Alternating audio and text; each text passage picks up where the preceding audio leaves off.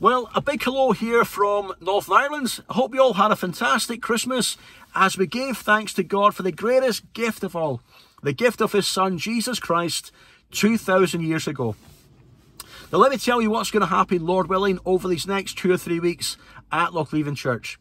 This Sunday, it's New Year's Day, and the plan is that we'll go for a New Year's Day walk from Burleigh Sands going along the beautiful Loch Leven shore to Loch Leven's Larder. Leaving Burleigh Sands at 11am. It's about a 50 minute walk. Uh, feel free to bring a flask of hot coffee, hot chocolate, whatever, and we can have that at the end at Loch Leven's Larder at the tables when we get there. So that's this Sunday.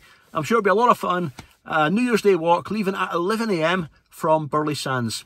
And then on the 8th of January, the campus has reopened to us. And so we're going to meet together to pray, to seek God's guidance, to seek God's blessing upon some of the plans at Loch Leven Church for these next 12 months. A lot's going to happen, and we're very excited about the future, and we really want to seek God's guidance together right at the start.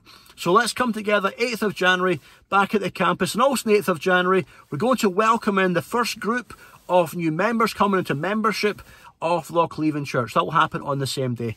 And then on the 15th of January, we begin a new series at church. We're going to look at the great little book of Colossians as we focus on the person of Christ right at the start of this new year. The series is called Putting Jesus in His Place. Now, here's a challenge, a wee thought for the start of this new year. If you haven't yet got a study guide for this coming year, how about reading through the whole Bible in a year? The Bible is the primary way in which God speaks to us today. It's where we get to know His Son Jesus Christ better. It's, it's a great idea to read through the whole Bible in a year, to stick with it. And there's a guide, a, a structure called the One Year Bible, and as the name suggests, it takes you through the whole Bible in a year. It's uh, structured according to the Old Testament and the Psalms, Proverbs, and New Testament. How long does it take? It takes about 15 or 20 minutes per day. And if you're going to do it, do let me know. I've gone through the Bible in a year many times in the past, and I'm going to do it again this year.